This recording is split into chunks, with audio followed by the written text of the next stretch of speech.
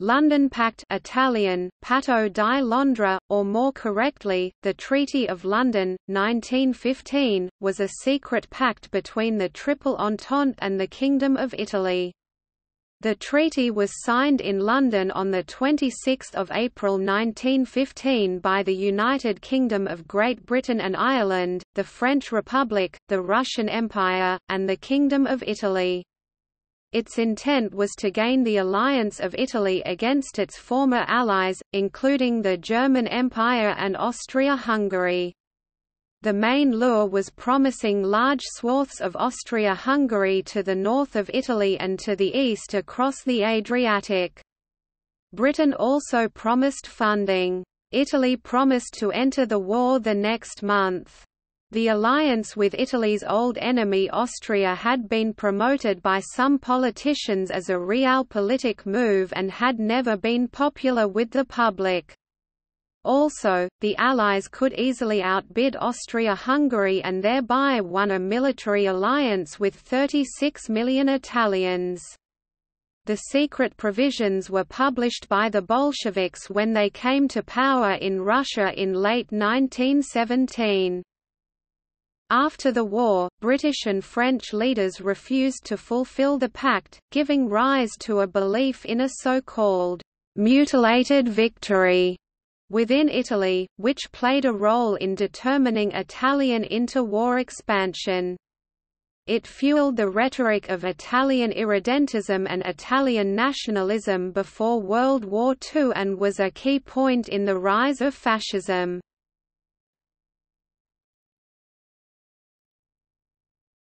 Topic: Background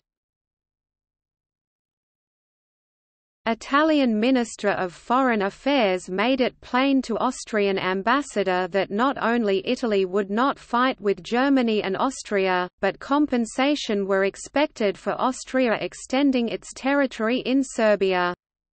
For six months Italy remained neutral, stating that the Triple Alliance was defensive and no alliance member should have declared any act of war without previous consultation amongst treaty signatories. Article 7 of the Triple Alliance foresaw compensation to maintain the balance of power in the Balkans. In fact, Austria-Hungary consulted only Germany in the days preceding Serbian ultimatum and Italy discovered Austrian war declaration from newspapers and not from ambassadors. Italy took the initiative in entering the war in spring 1915, despite strong popular and elite sentiment in favour of neutrality. Italy was a large, poor country whose political system was chaotic, its finances were heavily strained, and its army was very poorly prepared. The Triple Alliance meant little either to Italians or Austrians. Vienna had declared war on Serbia without consulting Rome. Two men, Prime Minister Antonio Salandra and Foreign Minister Sidney Sonnino made all the decisions, as was typical in Italian foreign policy. They operated in secret, enlisting the king later on, but keeping military and political leaders entirely in the dark. They negotiated with both sides for the best deal, and got one from the Entente, which was quite willing to promise large slices of the Austro-Hungarian Empire, including the Tyrol and Trieste. Russia vetoed giving Italy Dalmatia and Albania. Britain was willing to pay to get 36 million Italians as new allies who threatened the southern flank of Austria, only after the Treaty of London was secretly signed in April 1915. The leader of Italian neutralist Giolitti collected enough parliamentary support to force the Prime Minister Salandra to resign. During the consultation with the King for establishing a new government, Giolitti was informed that Italy was already committed committed to war and faced the choice of acquiescence or risk a crisis between Parliament and King and another between Italy and the other signatories of the London Pact. Giolitti renounced and Salandra returned to office. Most politicians, and indeed most Italians opposed the war, including most Catholics. Reports from around Italy showed the people feared war, and cared little about territorial gains. Rural folk saw war as a disaster, like drought, famine or plague. Businessmen were generally opposed, fearing heavy-handed government controls and taxes, and loss of foreign markets. Reversing the decision seemed impossible, for the Triple Alliance did not want Italy back, and the king's throne was at risk. Pro-war supporters mobbed the streets with tens of thousands of shouting by nationalists, futurists, anti-clericals, and angry young men. Benito Mussolini, an important Socialist Party editor, took a leadership role, but he was expelled from the party and only a minority followed him. Apart from Russia, this was the only far-left party in Europe that opposed the war. The fervor for war represented a bitterly hostile reaction against politics as usual, and the failures, frustrations, and stupidities of the ruling class.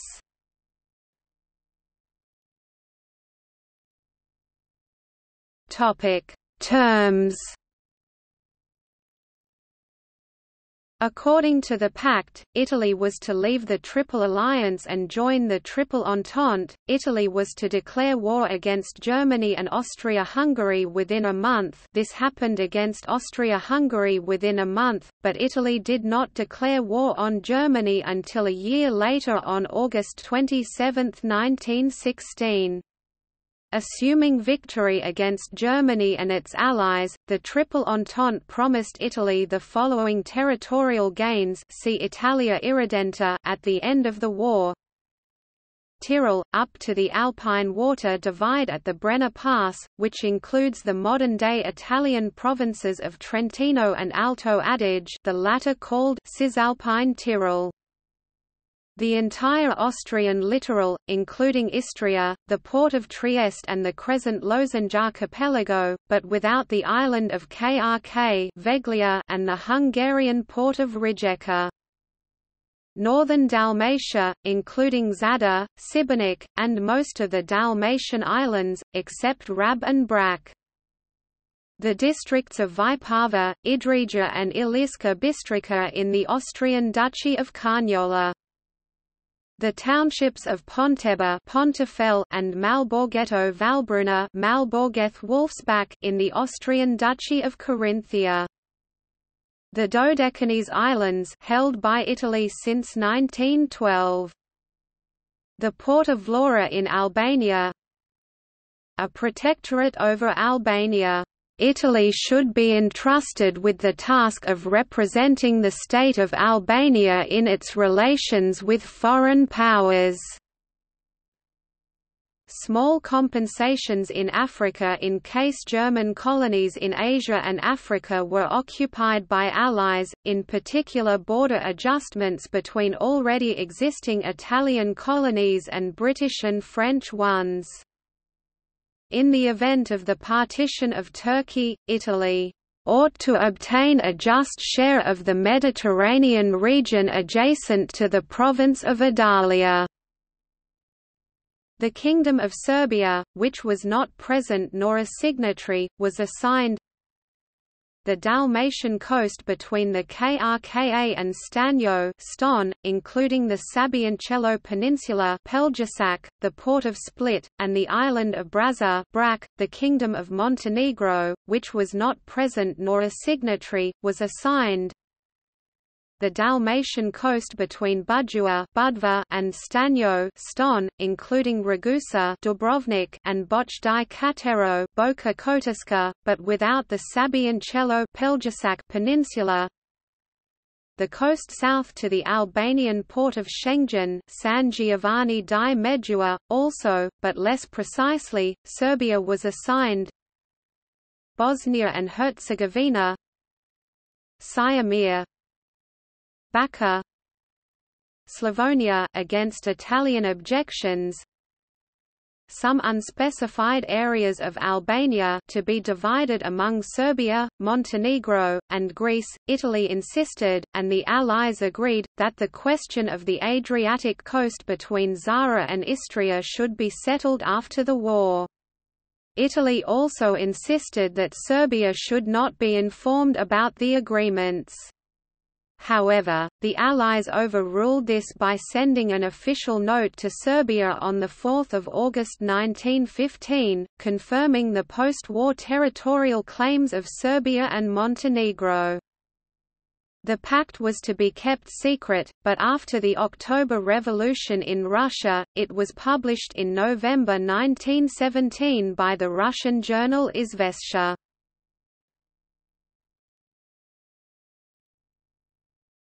Topic: Paris Peace Conference. After the war, Italy would only negotiate with Serbia and Montenegro. The Italian delegation staged a walkout for a number of months when faced with the denial of their territorial demands. The pact was nullified by the Treaty of Versailles. Before 1918, the contents of the Pact of London had been published to the world by the Bolshevik Russian state. The 14 points, as proposed by U.S. President Woodrow Wilson, contained a number of clauses that argued for ethnic or national self-determination and against respecting the provisions of the Treaty of London. Point 1, there should be open covenants of peace, openly arrived at, after which there shall be no private international understandings of any kind but diplomacy shall proceed always frankly and in the public view. Point 9, there should be a readjustment of the frontiers of Italy to be effected along clearly recognizable lines of nationality. Point 11, Serbia, and Montenegro should be evacuated, occupied territories restored. Point 12, the Turkish portion of the present Ottoman Empire should be assured a secure sovereignty. In Wilson's view, the Pact of London had been arrived at by secret contract, hence was not valid. Nevertheless, Wilson had no particular problem with the implementation of other secret wartime agreements such as the Sykes-Picot Agreement. Overall Wilson sought to achieve borders being determined by the populations present in the area rather than by outside parties. The Pact of London adjudicate to Italy areas that did not have a majority Italian population. Wilson believed that Slavic claims to some of the disputed regions were more sound than those of Italy. Italy ultimately was denied other gains promised in the treaty, a share of German colonies and control of Albania. Italy tried to establish a physical claim in Anatolia Turkey, but was quickly forced to evacuate. The partition of the Tyrol on the water divide line was confirmed by the Treaty of Saint-Germain.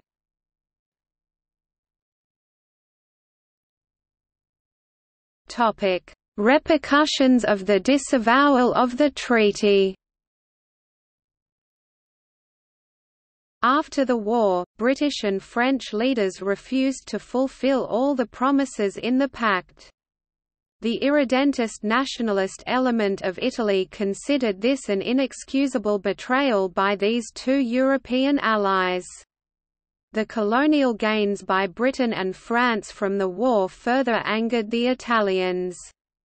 They felt excluded, although the gains were largely in the form of mandates from the League of Nations, looking toward preparation for independence, rather than simple colonial expansion.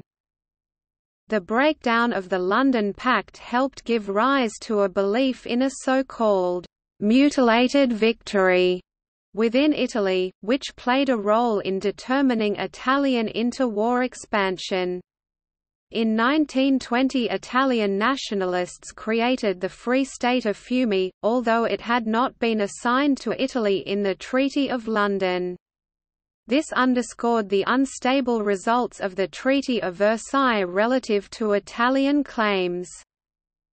During the negotiations, the USA suggested that the pact be revised on the grounds of a fundamental change in circumstances. Though this reasoning was rejected by the other powers, it is noteworthy as an early example of American invocation of this legal principle.